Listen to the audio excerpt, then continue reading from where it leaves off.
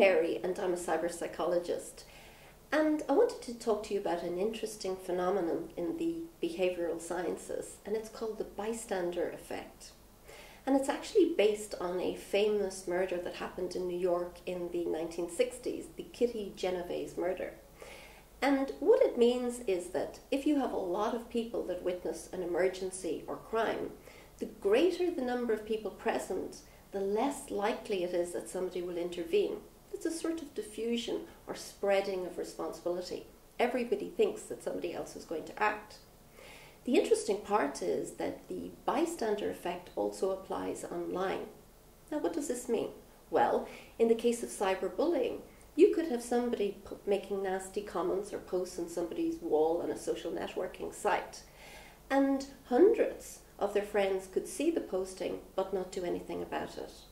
So, what we want to talk about now is countering the effect of the bystander effect.